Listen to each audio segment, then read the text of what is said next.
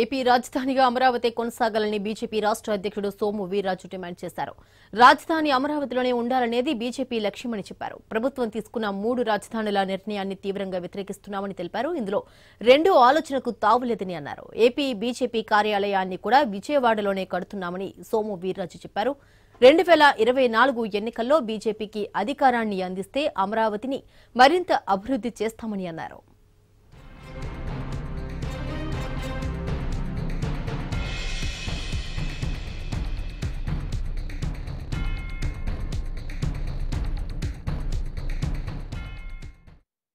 అమరావతిలోనే రాజధాని ఉండాలి. ఇందులో రెండో ఆలోచనకి తావు లేదు. అమరావతిలోనే రాజధాని ఉండాలి. తెలుగులో అమరావతిలోనే రాజధాని ఉండాలి. క్యాపిటల్ అమరావతిలోనే ఉండాలి.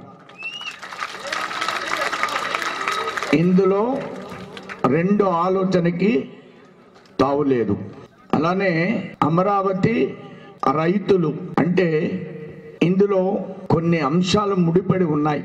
రైతులు ఎందుకు ఉద్యమం చేస్తున్నారు? రాజధాని కోసమే కాదు. రాజధానితో పాటు ప్రభుత్వం గతంలో అరవై నాలుగు వేల మందికి ప్లాట్స్కి మనకి పేపర్స్ ఇచ్చారు. అవి మూడు సంవత్సరాల్లో అభివృద్ధి చేస్తానని గత ప్రభుత్వం చెప్పింది. ఈ ప్రభుత్వం దాన్ని చిత్తశుద్ధితో అమలు చేసి తీరాలి. ఇది భారతీయ జనతా పార్టీ స్పష్టమైన